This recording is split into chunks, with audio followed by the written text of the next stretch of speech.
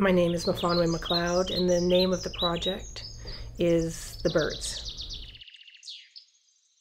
The birds are two overscaled, uh, monumental sort of sparrows. They both measure about 16 feet high. They're house sparrows, and they were created for the Winter Olympics in 2010 for the city of Vancouver.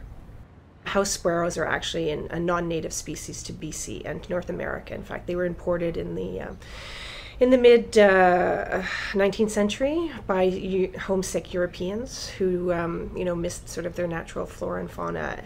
And I think it kind of spoke to the history of BC, but also of Canada in general. You know, I saw this parallel between the sort of um, natural environment and, and, and the human also migrations and immigrations into um, this country. I had recently read an article in the newspaper about alien invaders and um, the problem of invasive species. I wanted to do something that was in the urban environment um, that we see every day that might go unnoticed and draw our attention to that. And one of those things was um, sparrows, which are kind of ubiquitous in the city.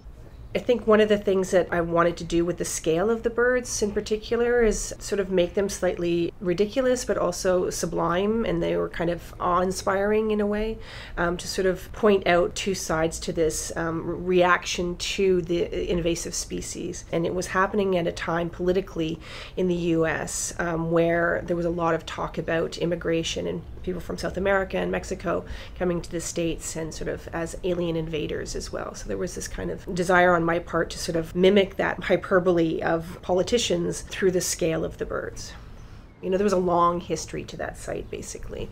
Um, it had been first settled by the First Nations people, and then through the years had become, um, you know, a site of industry. And then, um, and then when industry fell away, then it became this um, new development and new neighborhood. And the other inspiration was Alfred Hitchcock's film The Birds. The original story, actually, which was a Daphne du Maurier short story that was written just after the war, because its original story is actually set in England, and then Hitchcock uh, relocated it to the sort of west coast of America. The birds represented, I think, the bombing of the sort of Germans during the war. And so I think there was this parallel in terms of um, ideas of war and relating that to this invasion of the birds and this sort of strange behavior. Um, and for me, that was kind of quite a uh, sort of interesting starting point too for the, the project. But when I've been down there, there's all sorts of kids running around playing on the birds, which is, you know, always nice and encouraging to see. Overall, the response from the general public has been pretty positive.